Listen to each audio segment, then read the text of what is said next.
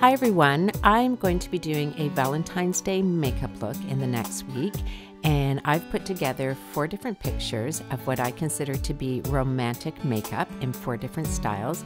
Would love your guys' help to pick and leave in the comments below what your favorite look is, what you think the most romantic is, and what would be the most suitable for Valentine's Day. Thanks so much guys and I look forward to reading your comments.